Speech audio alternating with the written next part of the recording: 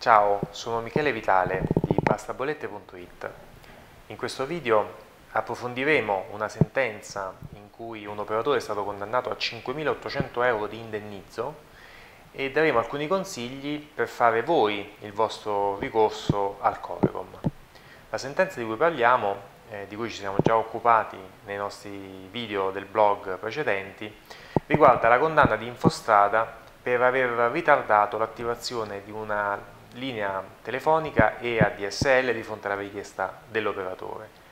Si tratta di un indennizzo importantissimo e si tratta di una sentenza che pone alcuni paletti altrettanto importanti. Eh, infatti sostanzialmente il Corecom eh, dice che eh, l'operatore non, non, può più mh, addurre a giustificazioni del suo comportamento eh, delle circostanze eh, pretestuose. Non può più addurre pretesti come ad esempio io non ho installato la linea telefonica perché l'utente alla fine si è rifiutato di farmela installare. Non potrà più dire così, ma dovrà dimostrare puntualmente queste affermazioni e queste argomentazioni. Quindi prove certe.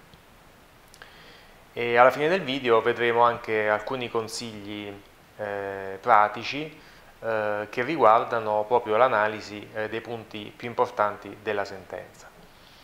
Passando a, a, a vedere il cuore della sentenza, eh, cioè come sono stati calcolati questi indennizi così importanti, eh, notiamo innanzitutto che eh, questi indennizi hanno superato i massimali che vengono solitamente previsti dai contratti degli operatori, che sono molto bassi. Quello di eh, Wind Infostrada, eh, che è l'operatore eh, di questa sentenza, ad esempio, prevedeva un indennizzo massimo di 5 euro al giorno fino a un massimo di 100 giorni, quindi venivano rimborsati, indennizzati al massimo 20 giorni di ritardo.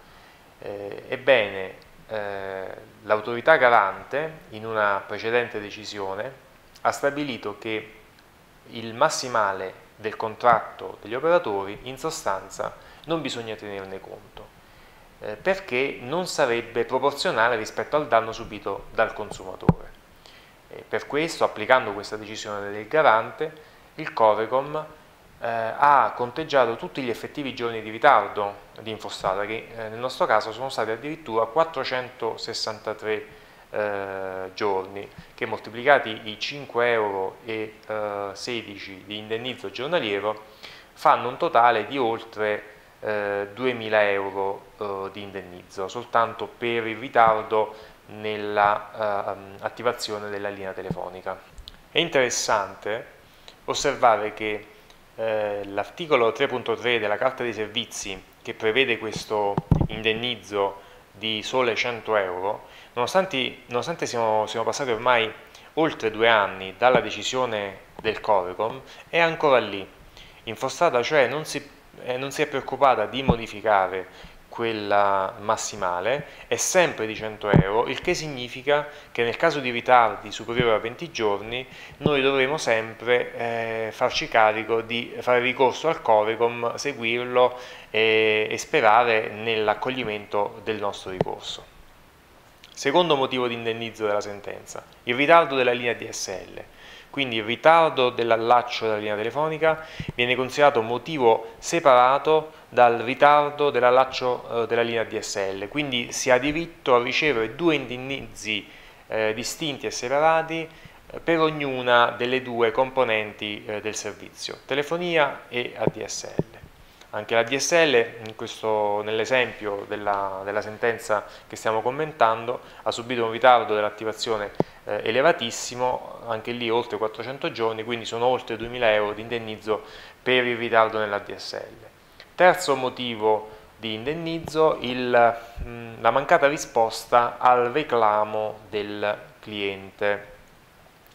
Eh, il garante ha stabilito in passato che ogni qualvolta il cliente fa un reclamo scritto, l'operatore è tenuto a rispondere in maniera eh, motivata eh, entro i termini stabiliti dal contratto dalla carta dei servizi. Nel caso di Windy questi termini erano 45 giorni, nel caso della sentenza eh, in questione Infostrada non ha mai replicato e, e quindi si sono calcolati eh, tutti i giorni del, del, ritardo nella risposta fino al giorno della richiesta al Corecom e anche lì eh, sono arrivati a circa 800 eh, euro di indennizzo per, mancato, per la mancata risposta al reclamo. Le spese eh, cliente, in cui il cliente incorre per fare ricorso al Corecom vengono anche quelle indennizzate dalla compagnia telefonica. Ultima richiesta indennizzata